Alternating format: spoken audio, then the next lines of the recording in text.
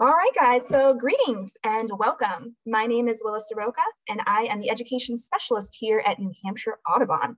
I'm thrilled that you could join us for our fourth, pretty sure it's the fourth webinar series in our pollinator series that started this particular year.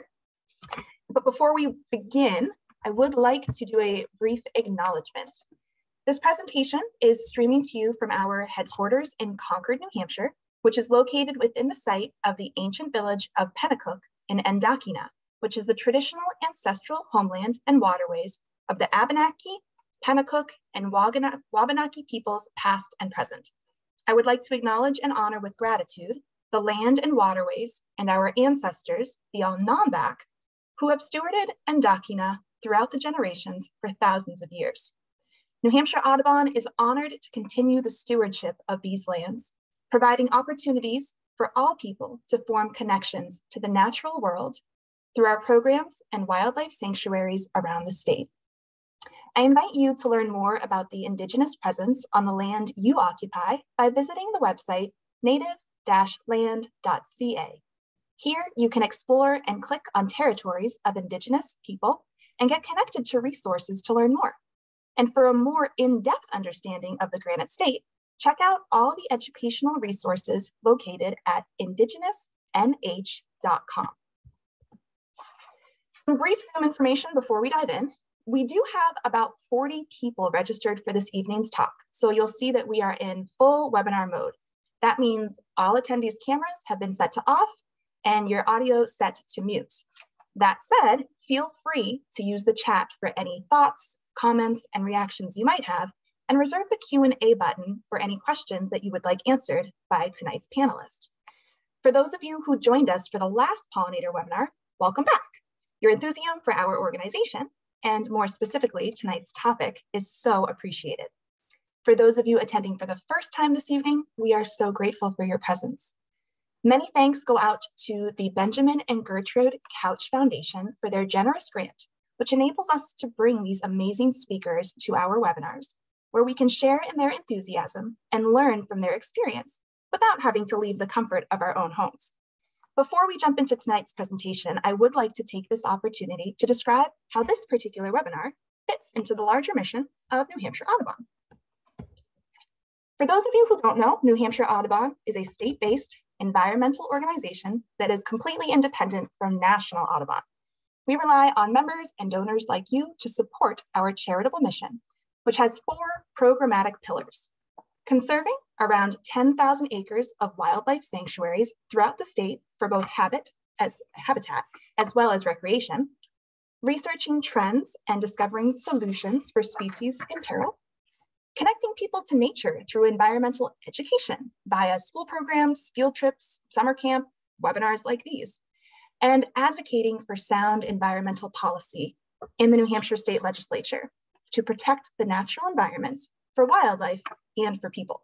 If anyone in attendance tonight is a volunteer, a member, or supporter of New Hampshire Audubon, I would like to sincerely thank you. We simply could not achieve our charitable mission without you.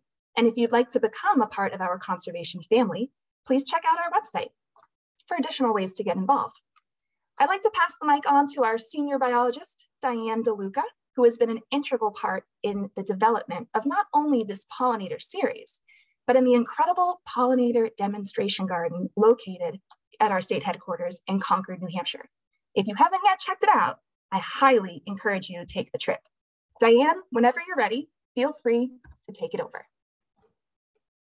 Thanks, Willa. And I'd just like to give a shout out to Willa for being the co-host on all of these pollinator webinars. She does such a wonderful job. And as you can see, I'm not on video because of my internet connection. So um, really depend on Willa and I so appreciate her being here. So tonight, we're very lucky to have Heidi Holman. And I'd like to just thank Heidi for taking time out of her very busy field season to share work with about New Hampshire's butterflies. We're very appreciative um, to benefit from her expertise in tonight's webinar. So Heidi is a wildlife diversity biologist with New Hampshire Fish and Game's non-game and endangered program, wildlife program. She grew up in Southwest New Hampshire and was fortunate enough to return to the state after receiving her master's degree from the University of Minnesota in conservation biology. Um, her primary responsibilities at New Hampshire Fish and Game have been implementation of recovery efforts for the Karner blue butterfly and the New England cottontail rabbit with habitat restoration and release of individuals from captive breeding programs um, in both of those species. Um, her current focus is using the knowledge gained from the recovery effort for Karner blue butterflies con to conserve other Lepidoptera in the state. So tonight, Heidi is going to explore some of the butterflies of New Hampshire and discuss actions we can all take to preserve their diversity in our state. And she'll share a new initiative that she is leading to better understand our New Hampshire butterfly populations, the New Hampshire Butterfly Monitoring Network, um, which I am very excited about. And this is an opportunity for all of us to get involved in collecting data that will allow biologists to monitor these populations over time. So thanks, Heidi, for all you've done for wildlife in the state of New Hampshire and for sharing some of your important work tonight. We're very appreciative.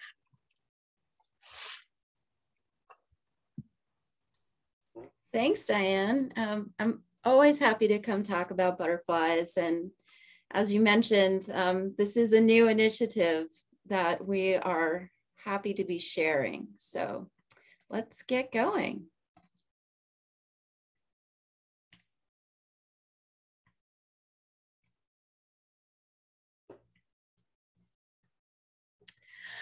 So as Diane said, the Butterfly Monitoring Network, we're trying to promote an opportunity for us to all work together because we know that in cases like the Karner blue butterfly, some extreme circumstances have brought them to the brink of extinction, warranting protection from the Federal Endangered Species Act. And we're trying to move the needle to prevent getting to those extreme situations. And so one of the things we need to do to keep common species common is we need baseline information. Where do they live? How many of them are there? And what are they doing in our state? So from what we know of the data that does exist, and one of the most comprehensive um, documents put together was by New Hampshire Audubon, uh, about 2013, they compiled the data sets of everyone that they knew who had been collecting information on butterflies. And to be honest, it only was about 15, 16 different people and organizations, you know, people like Fish and Game who had been tracking them while we were doing Karner Blue work or the New Hampshire National Guard, or there were a few um, people themselves who had great data sets and, and they shared them. And so what we found out from that work in museum records and, and records at UNH, 130 some odd species were said to have been in the state. But as we continue to look at that and account for potentially uh, misidentification or a hurricane that might have swept something in here, we think that there's probably just over 100 species on any given basis. So butterflies have many threats, just like all wildlife. And so why we're concerned about them, general loss of habitat due to development. I mean, people need places to live too. And, and so we need to be smart about where we do that. They tend to be more sensitive to some of the chemicals that we use because we're targeting the plants that they might use or actually um, targeting them unfortunately, or maybe not them, but some other insect and, and they get the brunt as well. So um, climate change has so many potential impacts because they're temperature dependent. Disease has long been an issue. Invasive plants may take over their habitat. We know that they're moving north with climate change and people moving them around and um, just general gardening and before we really knew about the importance of native plants. And then of course, impacts from recreation and agriculture. So that's a lot of different things that we need to be watching out for. what's really cool about butterflies is, you know, not only are we interested in them for themselves and their beauty and, and wanting to understand the different species and protecting biodiversity, because there's so many of them that live everywhere in our state and in small to large patches, they give us an opportunity to really look at the health of our state if we do this right. And you know, short life cycles, as it mentions here, makes them incredibly responsive. They're one, two years, sometimes even less than a year that they go through a life cycle versus a turtle, which may even take 12 years before it reproduces. So its life cycle is 20 to 60 years. So they're very um, reactive to a lot of these threats and they, they help us learn theories uh, very quickly. what I love about doing butterfly work and, and what we can do together is the fact that everyone can participate because they live across the state, because they fly during the day and they like nice weather and they tend to nectar and perch in places that are at eye level or even lower, we have the opportunity to actually see them. We actually can start to get good information on their species ID. And you don't have to go into a remote setting. You can be even in your yard. And it's just so wonderful that we can do this um, very readily. Citizen science, its ultimate goal is to actually feed into science. And of course, you know, we want to be able to communicate that back. And so here's some examples of how this type of data with these monitoring networks has been used in the past. There's the ability to track the shift in different butterfly communities relative to development or other landscape scale alterations.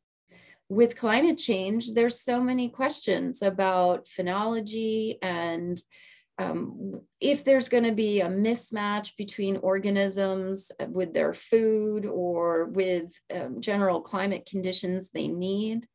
And what was really interesting is the study that's referenced on the far right of the screen is talking about a surprise that came out of citizen science data. And it actually showed that some species shifted later into the season instead of earlier.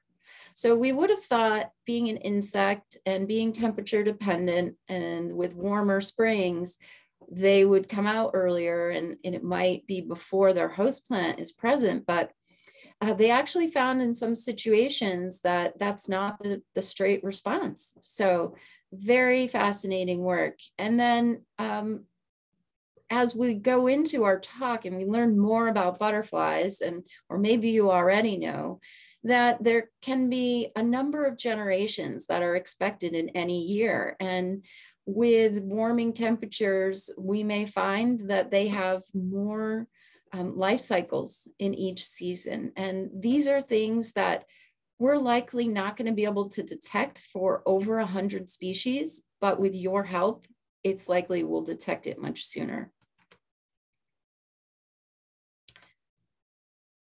Backing up, so to completely understand as we move forward and, and through this discussion, um, Butterfly 101, every single species follows the same life cycle.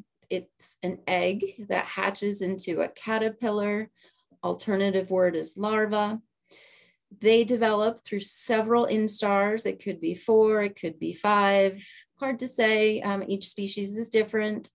And then um, they form a pupa, which people often think of as a cocoon or a chrysalis, um, different words, slightly different meanings, but the pupal stage. And then they become an adult butterfly, which is what we tend to really associate with. But again, they, they have all these other aspects of their life cycle. Every species is different, and they do this in all different ways. And usually things that affect what their particular life history is, is what kind of plants do they eat as a caterpillar specifically? Do they eat one plant? Do they eat many plants? Is that plant available all year long or is it only available for a short window and then it senesces? So that can really impact their life history. How many times do they do this in one growing season? So how many times are there adult butterflies flying? And what is their strategy to overwinter? Is it as an egg or the adult? And that really affects where they can live and also when we see them. And we'll talk about that. And in a few really rare cases, butterflies may migrate. And this looks different in some species. It's a moderate shift over time. It's not like a bird who migrates. I go south in the winter and I come back in the north uh, in the in the summer. Um, the monarch really is like the poster child of that type of migration for butterflies. So when we talk about generations, another word for that is broods. So you can think of uh, a hen sits on, she broods on her eggs. So there's one adult generation that lays eggs in any given year. So here's some examples. The frosted elfin has one brood or one generation, and the adults fly in May and June. And that's it. That's the only time we'll see them. Um, the rest of the time, they're either a chrysalis, an egg, or a caterpillar. In their case, um, by late June, they're a chrysalis and they stay that way all the way until April or May the following year. The White Mountain fritillary also only has one generation. And so we see the adults between July and September. What's interesting about that is that's a really long window for one generation. And it's not necessarily that there's more individuals so that there's a longer time they're closing and individuals are living, they actually seem to live longer as adults, which is so shocking because they're in the alpine zone and the worst weather of the world. But they have adapted to be very conservative with themselves and their movements as adults. And so um, their life, his, their lifetime in that adult phase is likely very much longer.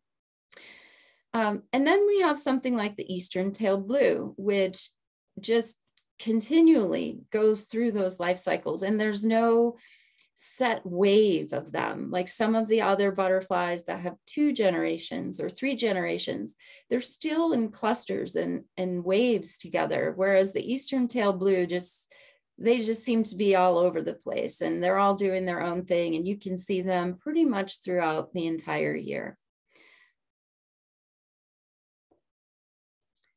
So butterflies have a very um, specific relationship again with habitat and, and that's because of their host plants. Well, depends on the butterfly. Some of them are great generalists. So they may eat beech and birch and cherry. And that's our Eastern tiger swallowtail, the Canadian tiger swallowtail. And we see them everywhere because those trees exist everywhere. So their habitat is everywhere. It's woods, it's woodland edges, it's wherever their host plant is. So they're pretty well spread. But then we have instances like the monarch butterfly and milkweed. So yeah, milkweed is pretty opportunistic and it'll grow anywhere, but the plant still has to be there. That and here in New Hampshire, we really only have one common milkweed the common milkweed. Um, other states, there may be four or five species of milkweed. Um, and then you get into your more specialist species, the ones that tend to be rare, like the frosted elfin and the Karner blue.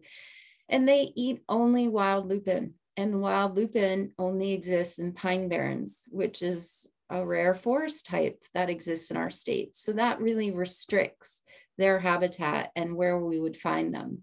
And the same thing with the uh, White Mountain fritillary who lives in the alpine zone and it's restricted to areas that are very wet up there that have some of their host plants like a violet and wetland specialist blueberries and willows.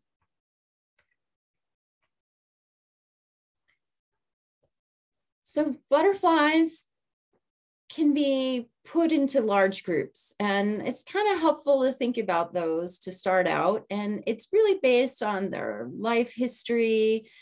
It is going to be down to genetics but we're just looking at it as their morphology. And these are the swallowtails. They tend to be really big butterflies that we can cue in on. They're as large as a monarch. And i know this past weekend I was talking to a lot of my neighbors and people I knew, and I was like, oh, I, I saw butterflies out in the field here, or I was watching butterflies today. And they said, oh, yeah, I just started seeing butterflies. And I knew right away they hadn't seen butterflies until the Eastern tiger swallowtail was flying. They just, they actually probably aren't aware that there are so many small butterflies that aren't so conspicuous but our swallowtails are definitely very beautiful and there's many species.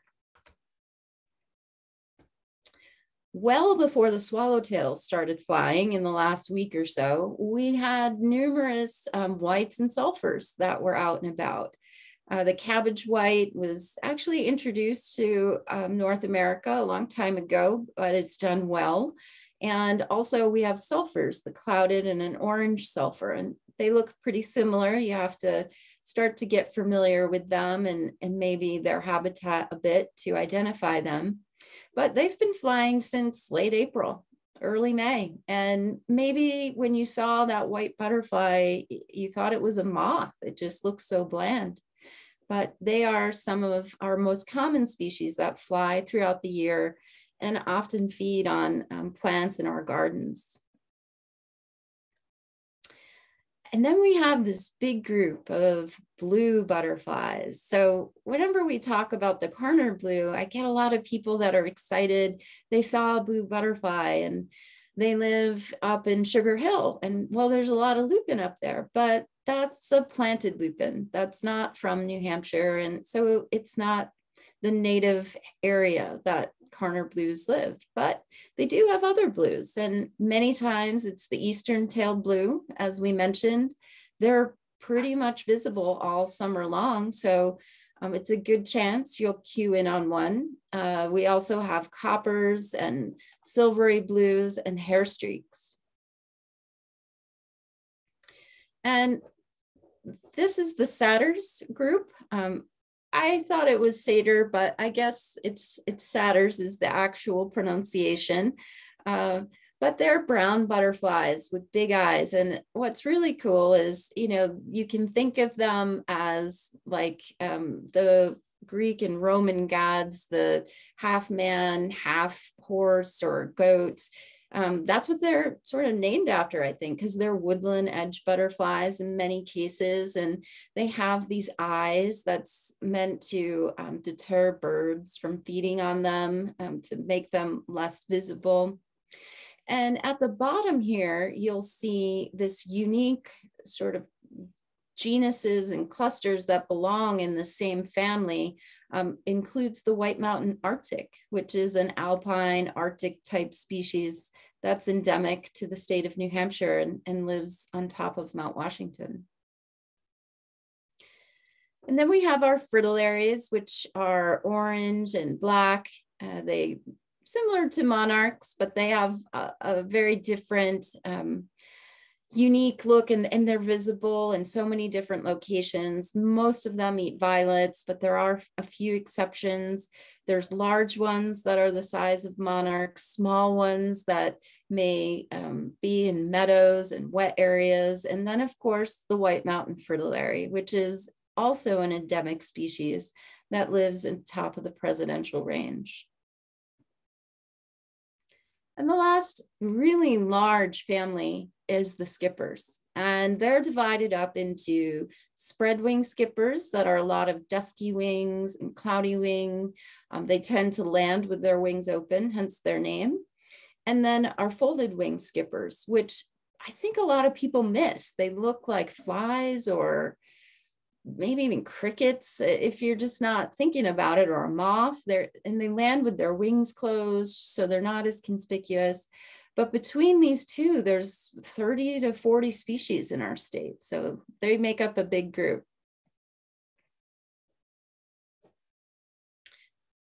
So it's so amazing that people have been fascinated with butterflies forever. It just seems like in Europe, then it was just this very Victorian era thing to collect butterflies and make weird art with them. And they original people that were coming here did a lot of monitoring. Um, we think of Samuel Scudder, a Harvard entomologist, part of the AMC, who described a very large number of butterflies um, in our region and throughout the country. Uh, but we haven't had any sort of standardized monitoring like they do for birds um, until the 90s. And in 1994, there was um, the NABA butterfly counts. Um, there's different types of walks that were done in other areas that were standardized, like I said, in Europe, that people are using. And so all the states are getting together and trying to um, talk about what they can do individually and how we can link our data across state lines because ultimately a lot of these species are, are present in a region or um, even multiple countries. So again, looking at what was compiled back in 2013 when Audubon uh, put all those records together, um, we had less than 10 species in many towns. So it was somewhat data poor. I mean, it was a great snapshot. It gave us a good idea of species um, historically to now, but it really was missing areas. Um, those locations with really high numbers tended to have a particular enthusiast or conservation group or university down in Durham that had people who were able to collect this information.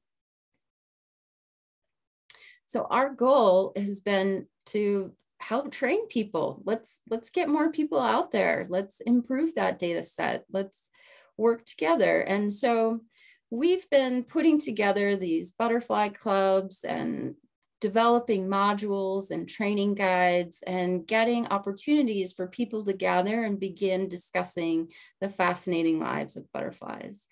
And so, for example, um, the Super Sanctuary Butterfly Club down at the Harris Center of Education met, and they chose to use a reference guide like the Kaufman's Guide as they walked through some of these trainings with a group. During these trainings, we offer first just the basic biology and ways to describe and identify butterflies. Most simply, the hind wing and the forewing. You need to learn the top or bottom wing, but these are the official terms. Then there's the ventral view or the dorsal view. And so when you think about that, the ventral view is when their wings are closed and the dorsal view when they're open. And when they're open, you're seeing the back of the butterfly. So that's how you can write that. Just takes a little while to use those terms regularly. And then we also start talking about things like the outer margin of the hind wing.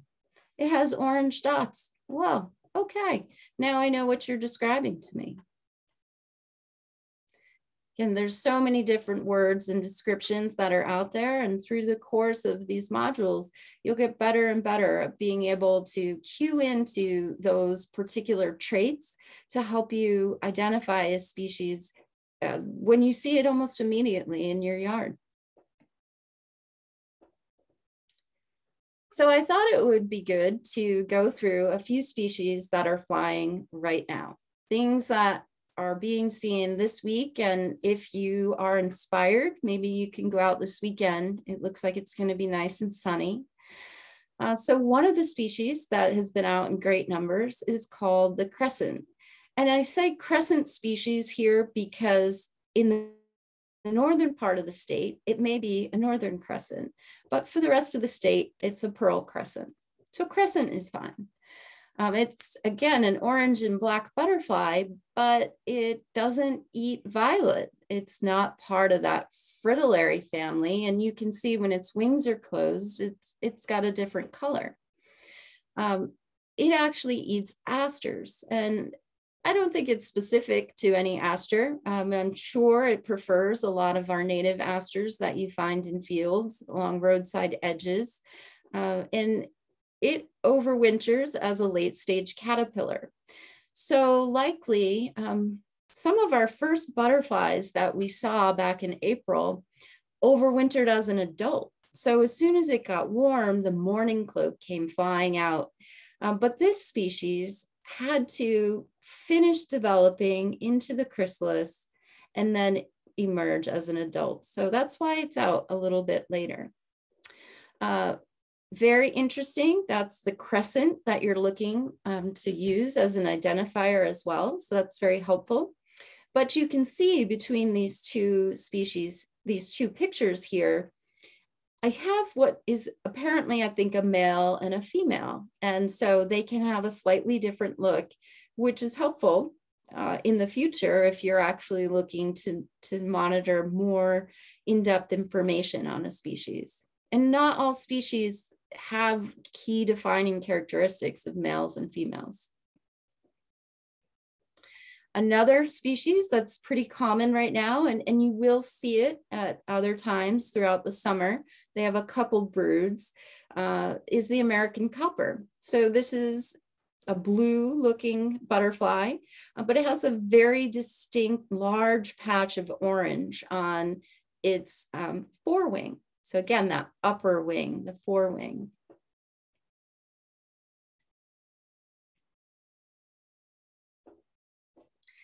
So this species eats a lot of what sort of weedy plants, the Rumex family, sheep sorrel and curly dock, things that'll come in as early pioneers after ground disturbance. And so it has a large variety of things it'll eat. And so that's what makes it somewhat common. Again, the tiger swallowtail. Um, and primarily in New Hampshire, since they've done a lot of taxonomic work and DNA, they've determined that we really have probably more Canadian tiger swallowtails that eat birch and beech and cherry versus the eastern tiger swallowtail that lives south of us eats tulip trees quite often, which we don't really have. So again, here's a little bit more detailed information about that. If you were uh, unaware about Canadian versus Eastern. Um, but one way you could look if you were curious if Easterns were moving up or was what you were seeing is you're looking at this yellow band when the wings are closed on the forewing. Common ringlets are flying right now. Uh, they are very closely related to um, the satyrs and the Arctic, um, those brown, that brown family of butterflies. And often you're not going to notice this distinct coloring pattern when they're flying, I find. So it's not until they land that you can really appreciate their colors sometimes. Um, they're in a lot of fields and open habitats because they eat grasses and rushes. So they have a lot of food available. They're not as particular about species, but they're looking for um, host plants in these groups. Again, the cabbage white, very common, um, very early, especially if you have a vegetable garden. This may be what's feeding on your kale or um, your broccoli. Eastern tail blues, again, the smallest butterfly in New Hampshire, contiguous uh, populations. So you'll be seeing them from now all the way till September, October. They eat anything in the legume family. So clover is great for them, bush clovers, um, and they overwinter as a, a late larva. So that's why they were out early. Again, that's where they get their name, a small little tail. So this is a gray hair streak. It looks very similar to our eastern tail blue. Um, this is a scrub hair streak. And the scrub hair streak, uh, it, it is the most widely spread one in North America. So it comes out the earliest. Um, it'll eat many, many different things, but again, seems to prefer similar plants to the eastern tail blue.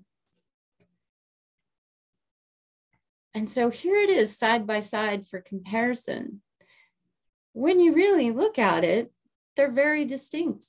Their size is different, which is hard to tell here, but their tails are a very different size. And when you look at the antenna of the gray hair streak, it actually has some orange on the end. So again, the, there are so many things that if we take our time and we work together through these modules, we do a lot of training on individual butterflies, try to introduce 10 or 12 in depth, more conversation. And then um, we do a lot of back and forth quizzing. So hopefully by the end of a few months, you're feeling confident. Again, if you're out this week, you may capture a sight of some of the elfins that started early in the spring. Brown elfins eat blueberries, dry areas, pine elfins. And of special note, if you're very interested in butterflies and maybe you're already an aficionado and know a lot of your common ones, um, we are in a very unique window of time for some of our rare species. Uh, the frosted elfin butterfly that is state endangered and eats wild lupin lives here in the Concord Pine Barrens, and their flight is about to end uh, over the next week. Um, but if you do have the opportunity to come out this weekend, you might have the chance to see them. And you're looking, the key characteristics to define them is be near lupin, which is flowering, um, but also um, look for this black dot. So very unique. And the Karner blue is flying in the wild right now. Um, so it's a great time to come out. There is a second brood that'll fly later in the summer, uh, but may not be as easy to cue in on if the lupin's not in flower. Again, this is the lupin in flower. And we just ask if you do happen to come out to the Fish and Wildlife Service easement that you mind the trails and don't step on lupin because there's developing caterpillars and chrysalis and all different things occurring. Um, so we wanna be mindful of that. So hopefully you're interested in working with us at some point. And here's a few ways that you can get started. Um, if you just are in your garden this weekend, you can provide an individual observation. Um, eButterfly or iNaturalist are great for collecting that data. Uh, I'm going to go through a quick thing on iNaturalist before we go tonight. Um, but as I mentioned, we're really working to train people to maybe do more sophisticated surveys if possible as well. And that's these point counts that were started about 20 or 30 years ago. And they're very similar to the Christmas bird count um, in the fact that they standardize how data is collected to use it across multiple um, researchers, all kinds of um, questions, um, and, and it's really more powerful as well. Um, there's some future things that we may look into, and I just say stay tuned. So I know um, there's a BioBlitz coming up at Audubon at the McLane Center later this month, and I believe there's a training series that occurred or is occurring on how to use iNaturalist in preparation. But here's just a real quick 101 as well. Um, iNaturalist is where you submit any sort of observation. You can sign up online, get an account. Um, it doesn't just have to be butterflies, but of course, that's what we're talking about tonight. Within that, we've created the New Hampshire Butterfly Monitoring Network project. So what this means is that it created parameters so that any observation of a butterfly in the state of New Hampshire gets swept up into this project so that we can start to look for trends or answer interesting questions or just see what's out there.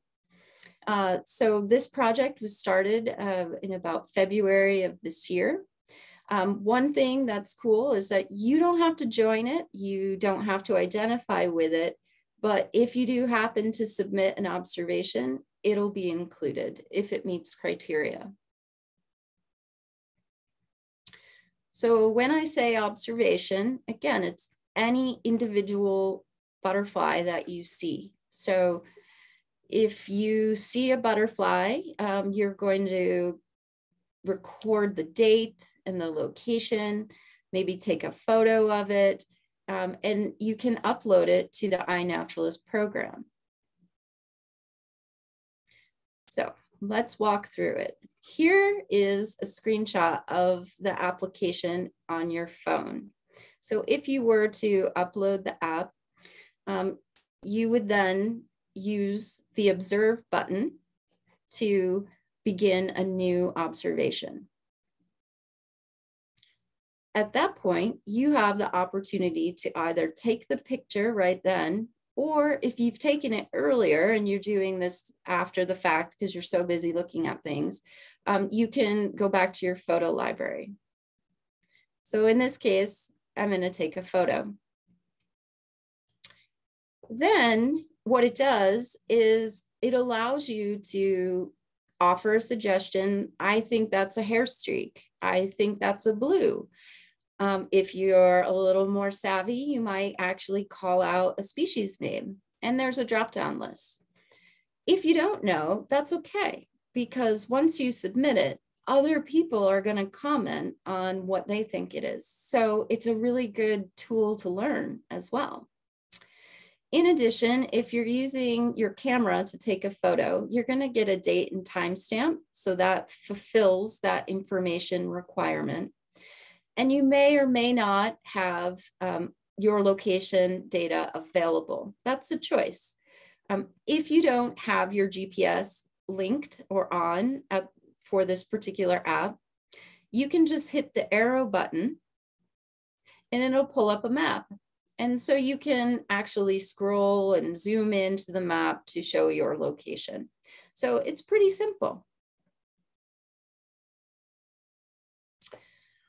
When you are looking through the data, you can look at specific species, you can see the dates that they would expect it to be out. What we can do here is see, oh, wow, that's the earliest date that's ever been observed or recorded or that's the latest date, getting into the multi generations or extended time periods.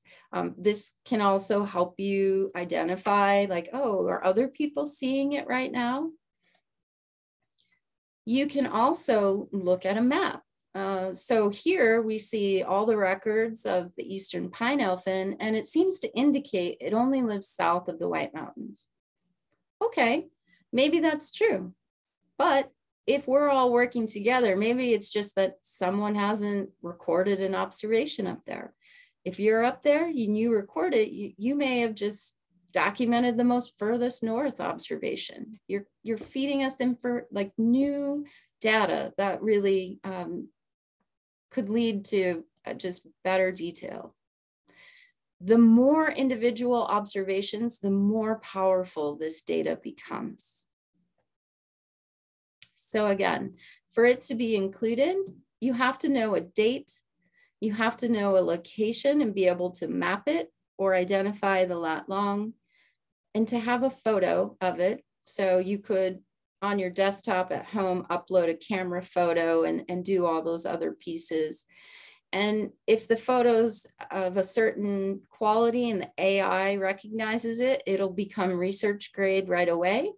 Or other people will be able to help you um, identify and get us to that um, good identification. So in the future, again, our goal is to inspire people to do these point counts. And here's a snapshot of the point counts that exist in our region um, as of the end of 2021. There has only been one that's been going on in New Hampshire for about 19 years, and that's the Baker Pond point count. So there's a lot we can do to make this happen. And these point counts um, are originally designed to occur around 4th of July. So again, the almost the complete opposite of the Christmas bird count, but they take place in a 15 mile diameter circle. And basically you meet on a particular morning, all the people who want to participate, you break up into groups and you go out and observe two or three properties in each party and come back and compile the data. That's it. Again, what makes it so strong is that it's all done at the same day in the same window of time.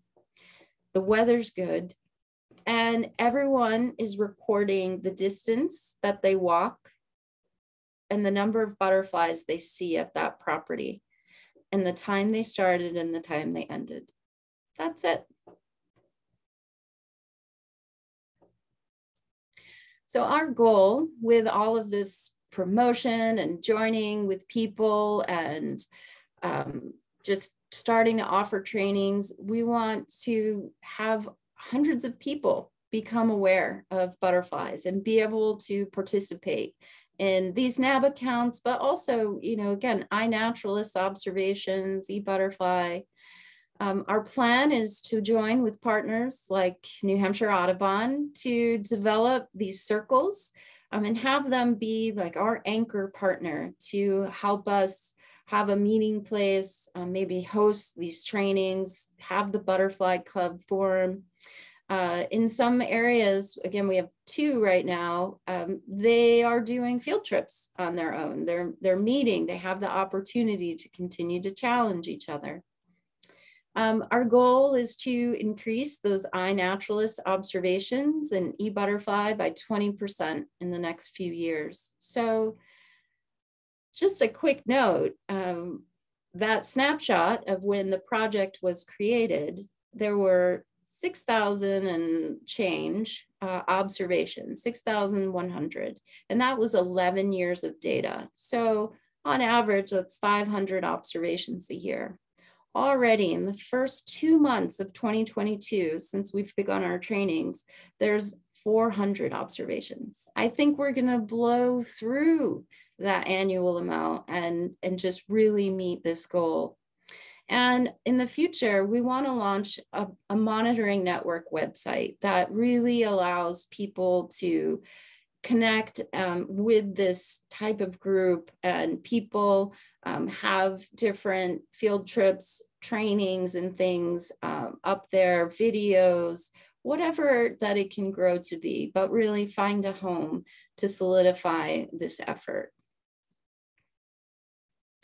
So next year, uh, anytime from fall or winter, dates yet to be determined, um, we will be launching three new butterfly clubs um, to offer trainings through. Uh, one hosted by our partners here, New Hampshire Audubon in the capital region, uh, we're also looking to do one in the seacoast and also up north uh, out of Tin Mountain Conservation. Um, ongoing, we have the uh, Lake Sunapee area and then also in the southwest part, the Super Sanctuary.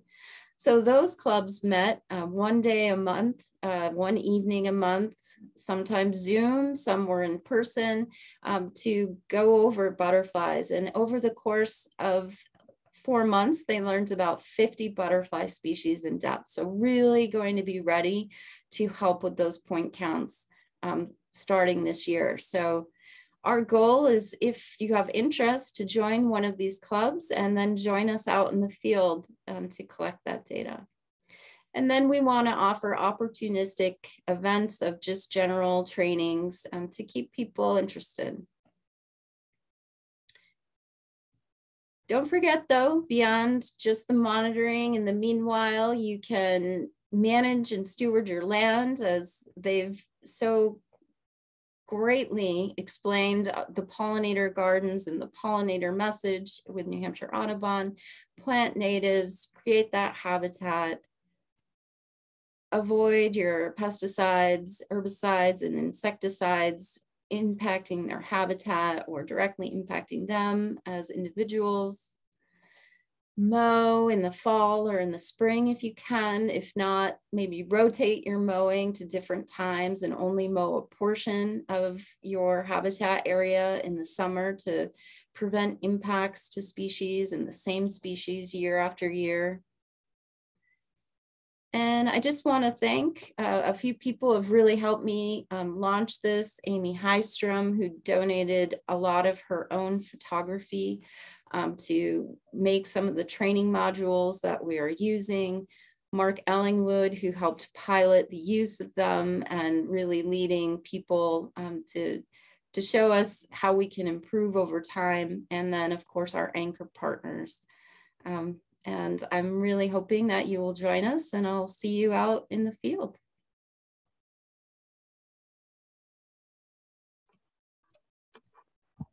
Thanks, Heidi. That was great. Um, Willa will probably come up again so that we have uh, a face of Audubon here. But there are a couple of questions just to start out. And um, also, we share that if people want to ask questions directly, that Willa can then um, open up your microphone so you can do that. So Deb asked, do you want historical observations?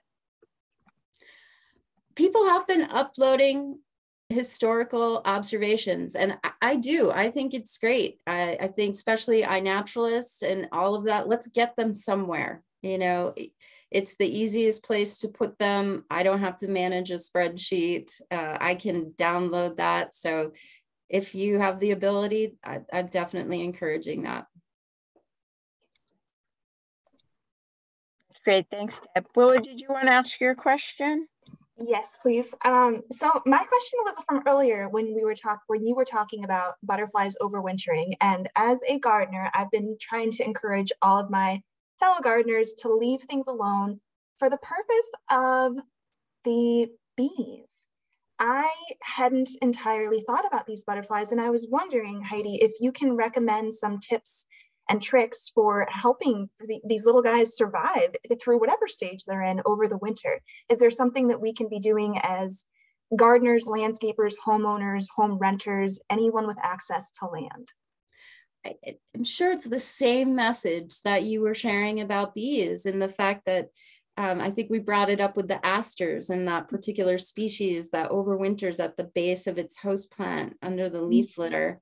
Some may burrow, maybe that's okay, but the leaf litter is going to offer some protection, especially in a year that there's no snowpack, um, which often is the buffer.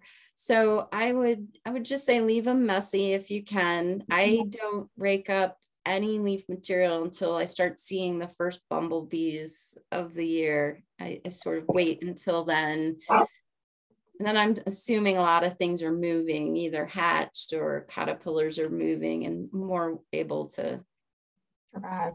Get out of the way. First critter arrives. Um, someone just popped into the chat a question, my second question. So um, Diane, did you want to ask that one? I think she, Natalie put it into sure. the chat. She's, um, Heidi, Natalie's wondering if you recommend a particular book to help ID butterflies. So, you know, it really comes down to what you like. Um, I had a favorite that I've used since I started called Butterflies Through Binoculars. And it's really good photos. And, and I like that because it's realistic looking but it's older. It's it's not being reprinted, but it and it's very specific to the East. Um, the Kaufman Guide was one we chose. It's more traditional in using drawings, but it is more realistic versus like really stuffy old plate books. So they put them more in their environment. So that that that one's really good, and they tend to show both sides of the wing. Um, and it's only Eastern North America. And the, the reason I say to limit maybe to a region book is when you pick up some that are all of North America, there's going to be a blue butterfly that's very specific to California that's just going to confuse you. And it's just too many to choose from. So I think that's my take home is choose a regional one. I just popped um, that butterflies through binoculars by a Goodreads in there, and that link shows folks where they can potentially purchase a copy. And that was, Natalie, that was my exact question. I'm, I'm a bird dork and I have 900 bird books, but I always have that one that I go to. And so it's nice to have something from an expert who can make a suggestion. So thank you, Heidi. Sure. Um, if no one else has a question, I had another kind of weird one um, pertaining to wintering butterflies because my brain is having a really hard time grasping that. I have a hard enough time understanding how something that weighs less than a paperclip can fly from New Hampshire to Mexico, never mind survive our winters. So you had mentioned, I think it was the cabbage moth or cabbage, I'm sorry, cabbage something, caterpillar. White. Yeah, thank you, cabbage white. Who overwinters in its butterfly form? How? Some, some species do. And I think of like a lot. So commas do, question marks, mourning cloaks.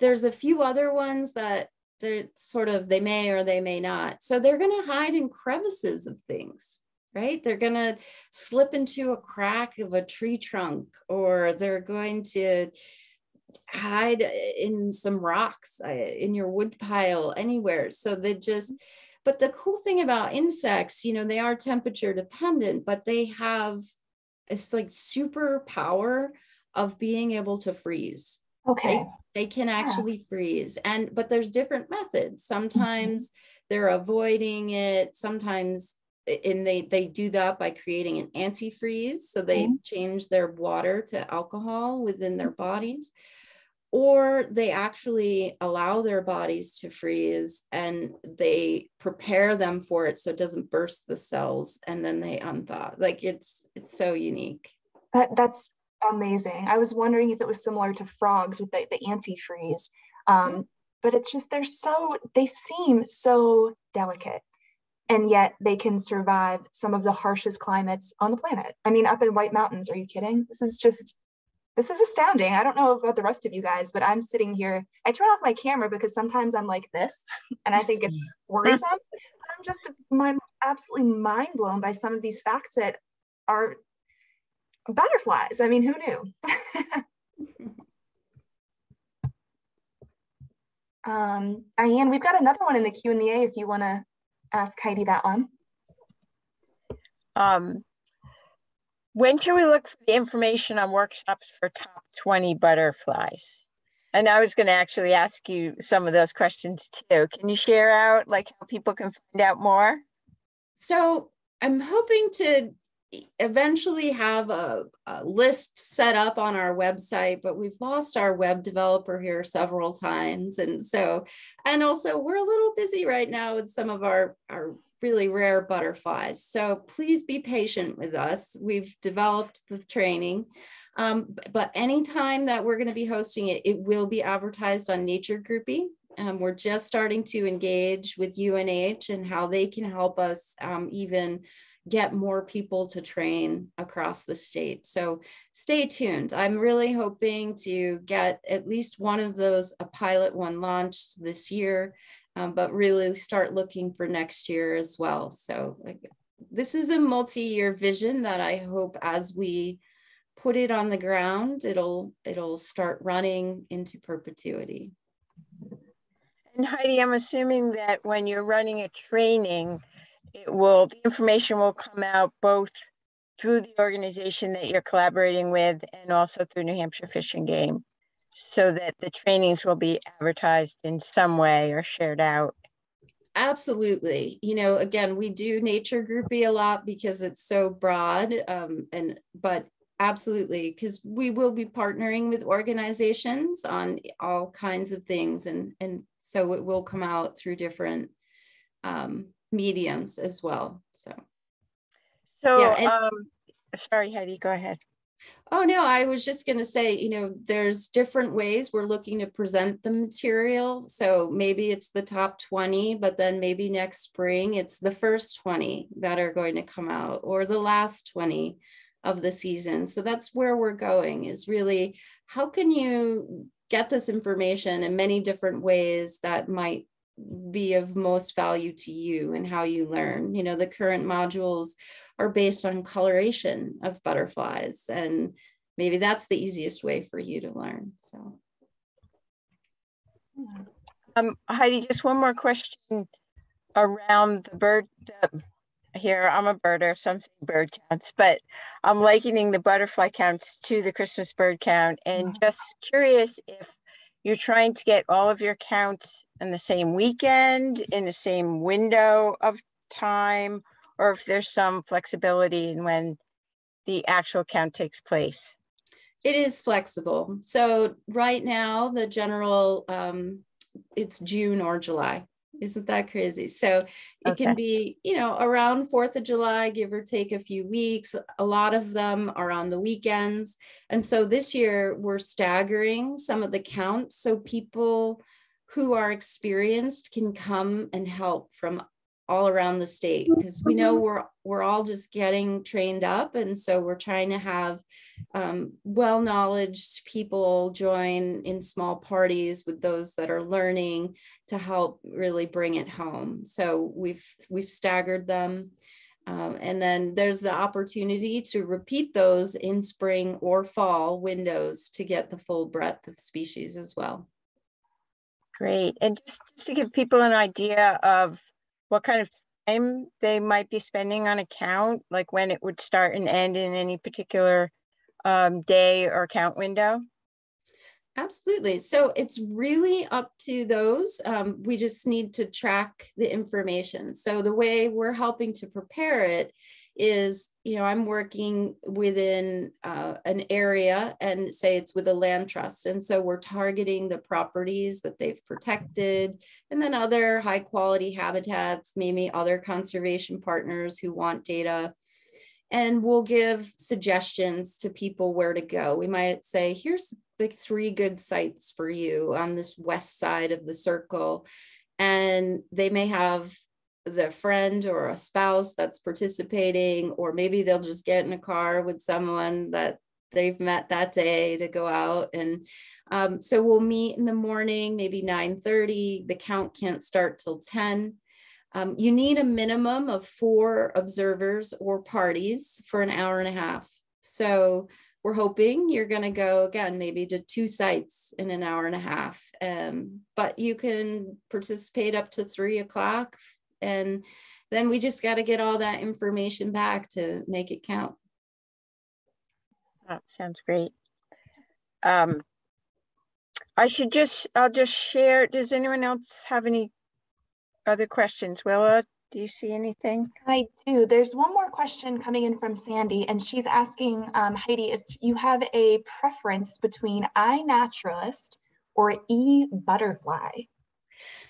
So the only reason I haven't done a lot of um, discussion about eButterfly yet is because I just heard from one of the creators they're about to launch a new updated version. Oh.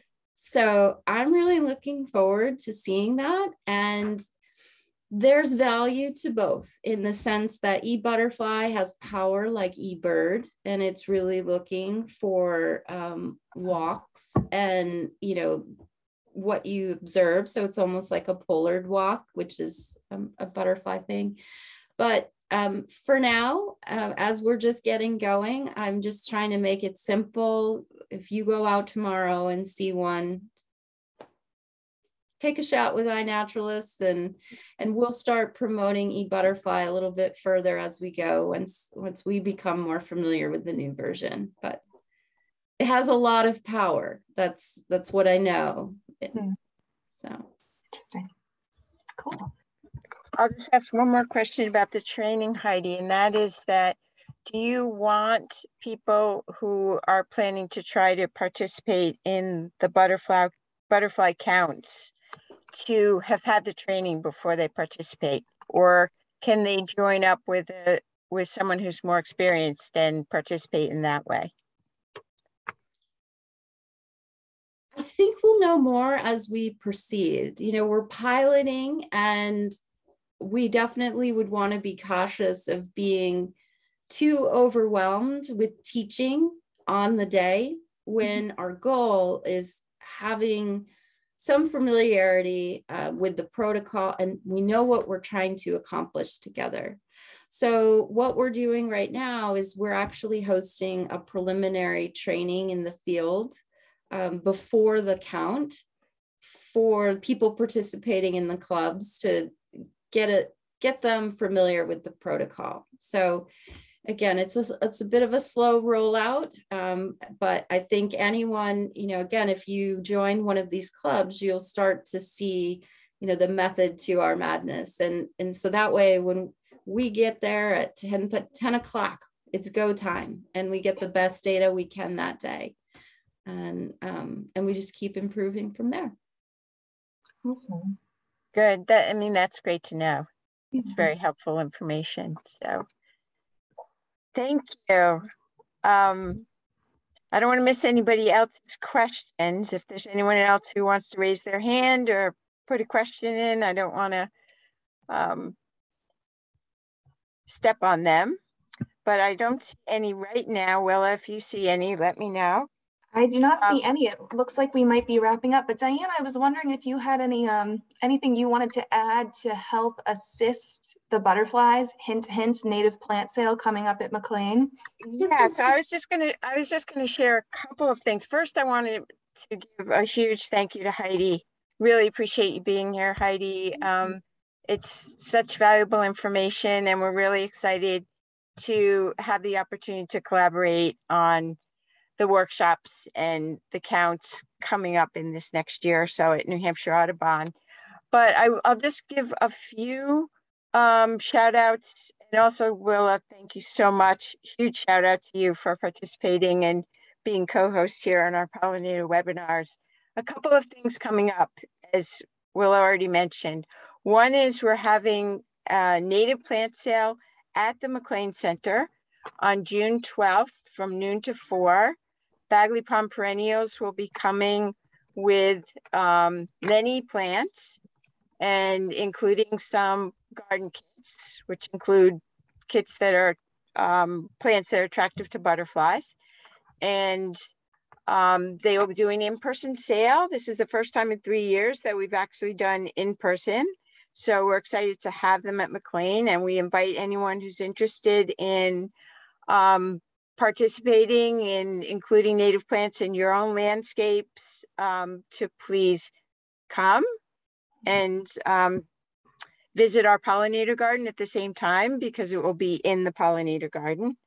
Um, we also have two other webinars coming up and one is actually an iNaturalist training for the BioBlitz, which is going to take place in our pollinator habitat on June 25th and the training will be done on June 16th, which is a Thursday night webinar. So it will be from 7 to 8.15. Um, and Heidi will be at our BioBlitz. So we're really excited. So she'll be leading the field group that's going to be looking um, for butterflies. And we have a number of other experts, uh, bees, plants. So um, we'd love you to join us for that as well. And then we have one more pollinator webinar this spring, which is going to be on native bees and given by Nick Dorian out of Tufts. Um, and so we're pretty excited about that as well. So join us on June 23rd. So I think I've shared things that are coming up in the near future. Um, and again, a huge thank you to Heidi and Will, I'll turn it over to you in case you have any final I think you covered it all, Diane, and we are just so gracious for your, your time that you've taken out of what is clearly a very busy field season for you, Heidi. So thank you so much for being here. Thank you for sharing an immense amount of knowledge. I still have like 100 questions, so probably going to email you. Um, but this was fascinating. It was really informational but approachable, and I hope a lot of you guys are interested in participating and getting more involved with all of these different resources that are located in the chat and will also be available as a recording in just about five days. So Heidi, thank you. Diane, thank you. And most importantly, thank all of you guys for coming out this evening and joining us for another incredible pollinator, pollinator webinar series. Have a wonderful evening, everyone. Heidi, thanks again. We'll be in touch and uh, have a good night, everybody. Thanks, Heidi. Thanks, Willa. Good night, everyone. Good night.